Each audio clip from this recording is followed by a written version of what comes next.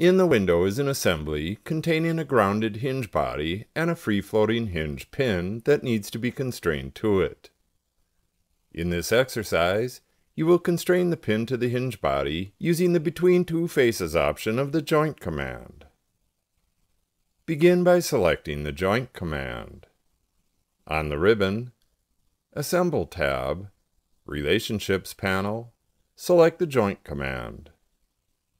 The joint type is automatic by default. For this exercise, leave it that way. The first origin indicator is active. Select the center of the pin by hovering the cursor in the vicinity of the pin center. When the glyph is in the center, click to accept the selection. Next, right-click and select between two faces. The second origin indicator is now active, and you need to select the first of the two planar faces on the hinge body.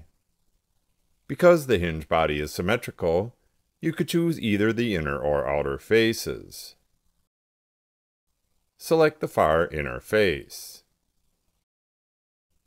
The face highlights, and now you need to select the second planar face. Hover the cursor in the vicinity of the second hidden interface and wait until the Select Other display appears. Scroll through the selections until the correct face appears, then select it.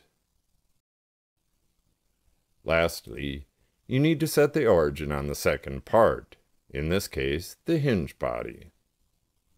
Hover your cursor over the hinge body opening, and a glyph appears between the hinge body's leaves. Click to set the second origin. Now, align the pin to work geometry. Select the first alignment button on the Align bar of the Mini toolbar. Expand the origin folder of the pin part and select the XY plane as the first selection.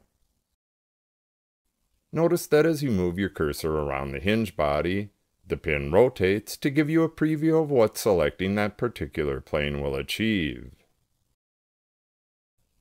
Select the bottom of the hinge body as the second selection, and then click OK.